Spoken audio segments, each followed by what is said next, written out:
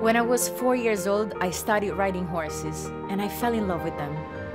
Riding became a passion, and I had the honor of working with Olympic trainers in Germany and the Netherlands.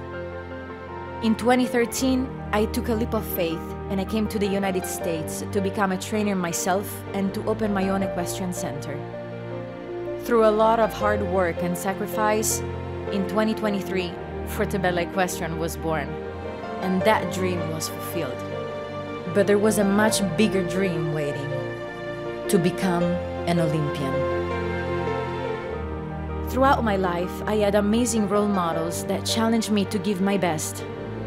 Participating at the Olympic Games is my next natural step. This is also a way for me to give back and become a role model for many, and especially to my little girl, to show her what she can achieve. Because if you put your heart and soul in what you do, nothing, nothing can stop you. With my story, I want to inspire a new generation of athletes and women to achieve their goals and never give up, because anything is possible if you believe in yourself and your dreams.